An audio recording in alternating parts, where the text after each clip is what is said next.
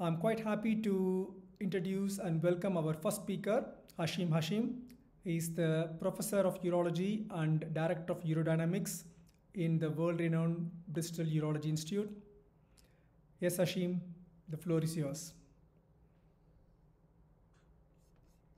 Thank you, Ananda, and thank you for the invite and the kind introduction. And uh, it's really a pleasure to be here. And it would be nice if we can see each other and meet each other in person, but um, this is the world we live in at the moment with uh, COVID, and it seems that uh, we are having more meetings now, which is good.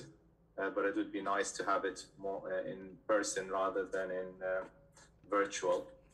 I've actually just um, in the middle of uh, doing a urodynamics course with Spain, where we're giving lectures as well. Um, so I will start with this. Um, so I'll be talking to you about uh, the evaluation of male LUTS. Um, I hope you can all see my screen. Yes, Hashim.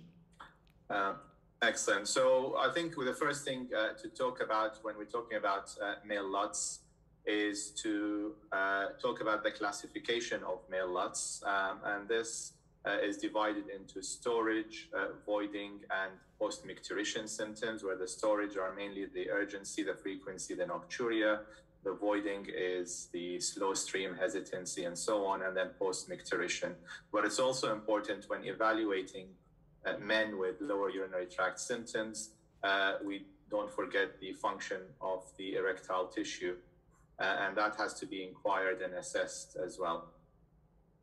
So um, I'm also going to start off with uh, talking about how the terminology changed really over time. And um, you can see that the EAU guidelines started off with benign prostatic hyperplasia, but over time, this has actually uh, gone and we now call it male lower urinary tract symptoms including benign prostatic uh, obstruction in the non-neurogenic patient. And uh, in 2021, uh, this hasn't really changed. It's still male LUTs, uh, including BPO. And that is important because BPH really is a histological diagnosis. And unless everyone has a biopsy of the prostate, uh, we should really be calling it uh, BPE, which is benign prostatic enlargement. Um, and if it's causing obstruction, then it's called benign prostatic obstruction. And um, it, the, it's a general term for the prostate causing obstruction. Uh, but if you have outlet obstruction, for example, for strictures, then it's called bladder outlet obstruction. Uh, and this is now the accepted terminology both in the um, AUA guidelines and in the European guidelines. So, what causes male LUTs? Well, the reason we moved away from uh, prostate uh, and prostatism is because patients don't complain of that. They complain of lower urinary tract symptoms. They could be related to the bladder, um, they could be related to the prostate, uh, and could be related to many other things um, uh, that can cause symptoms uh, in the bladder, which we talked about uh, at the beginning. Um, so, what do we need to do to assess these patients? Well, um, medical history is important. Um, if you don't speak to patients, then you won't be able to um, assess them. So this is based on clinical principles. Um, symptom questionnaires as well um, are important uh, to be used in um, assessing these patients. And the commonest symptom questionnaire used is the IPSS. Um, however, again, this is more uh, uh, looking at prostate uh, rather than uh, assessing things like incontinence and post-micturition symptoms. Um, so the recommended one is the International Consultation on Incontinence Questionnaire for male lower urinary tract symptoms, which looks at incontinence and symptom bother for each of these symptoms. Um, there's also the Danish uh, prostate symptom score, which is um, which has a symptom bother on um, on the individual items, but uh, is mainly used in uh, Denmark. So why are we saying the ICIQ MLUTs? Well, um, this is a publication comparing the ICIQ with the IPSS, and basically the conclusion was that um, the ICIQ measures all lower urinary tract symptoms, which is what we are assessing. Um, so when even when you operate on the prostate, uh, patients will suffer and have um, other symptoms and not just uh, voiding symptoms. And therefore, it's important to assess the whole uh, lower urinary tract. Um, when assessing these patients, a bladder diary for three days, a validated one, is um, is needed, um, and that is based on strong recommendation from the European uh, guidelines. And the ICIQ again is the is the only validated uh, bladder diary in the world. Um, this is a three-day bladder diary where patients record their amount of fluid they drink, the type of fluid, how much they void, and bladder sensation. Um, rectal examination, again, that is recommended um, uh, in the guidelines. Um, so, feeling the prostate uh, does help you uh, assess uh, the size of the prostate um, and also the texture of the prostate. Um, and what I tend to do usually when assessing the prostate is uh, you know the width of your finger, you know the length of your index finger, um, and therefore you can uh, briefly assess the uh, size of the prostate based on the um, uh, area that you feel. Urinalysis, again, is a cheap, easy uh, way to assess uh, problems. Looking at different parameters on the dipstick, again, is recommended by the guidelines. Prostate specific antigen, this is probably more uh, related to wherever you are in the world and healthcare system. Uh, but in general, uh, most guidelines um, around the world recommend uh, doing a PSA test uh, to look at, um, well, you can use it for progression of uh, disease in terms of benign prostate, but also to assess for um, cancer. But patients need to be counseled um, about having the test renal function test in general there's not much evidence about doing renal function tests um, blood tests basically, uh, but the uh, recommendation from the European Association is that there is a strong uh, recommendation, especially in those who have other comorbidities such as diabetes. Post void residual, I don't agree with this recommendation. They say that there's a weak uh, recommendation to measure post void residual. However, um, later we'll talk about the American guidelines, which recommend using uh, doing a post void residual, and actually it's part of doing a flow test. So um, I would say that a flow test and a post void residual are uh, important in assessing male lower urinary tract symptoms.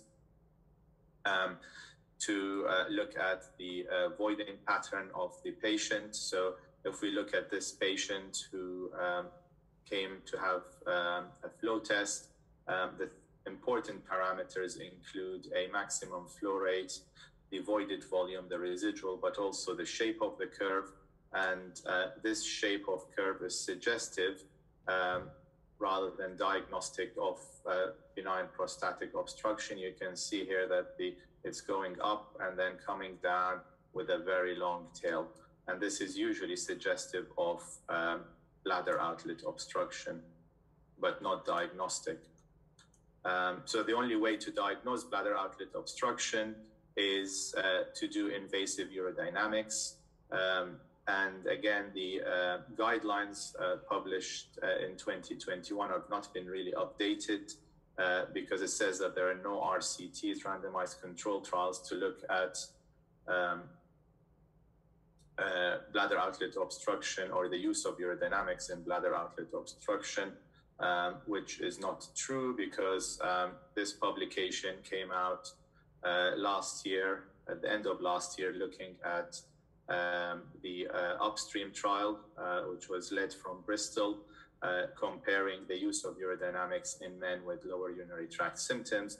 Um, and there, the conclusion from that is that there is a role um, but it has to be, we have to find what that role is in terms of diagnosis bladder outlet obstruction in men. Um, this criteria would have to be modified um, and assessed uh, in the future. Uh, what is not recommended um, is ultrasound scan of the upper tract. And again, um, if you patients don't have a residual, then um, and they have normal blood tests, renal blood tests, then there is no need to assess the upper tracts in men. And that is why the recommendation is you don't need to do upper tract imaging. Um, the same thing with imaging of the prostate. Um, you only need to do imaging of the prostate uh, if you are considering surgical treatment because they'll give you much better assessment of, on size of the prostate um, when um, you're considering the different surgical options, which you will hear about uh, later on uh, throughout the next two hours.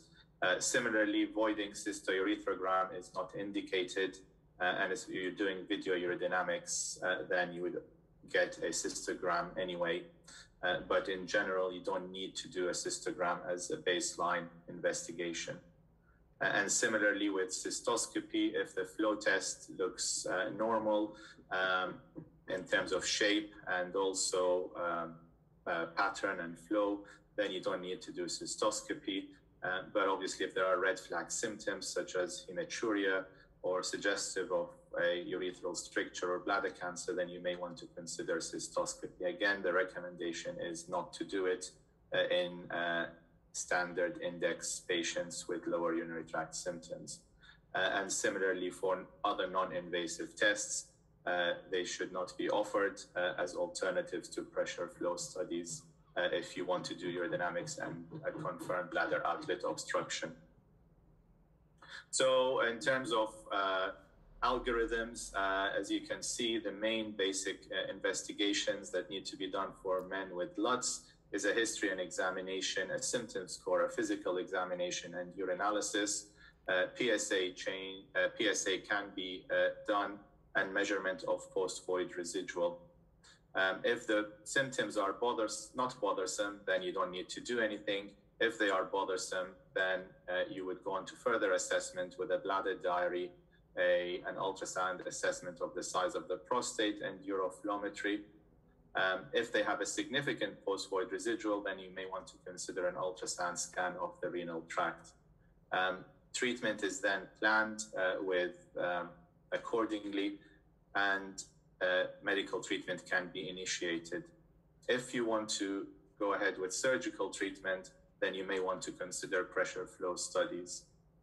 If they have abnormal rectal examination uh, or suspicion of any other red flag symptoms, then you would need to treat uh, or assess according to standard guidelines.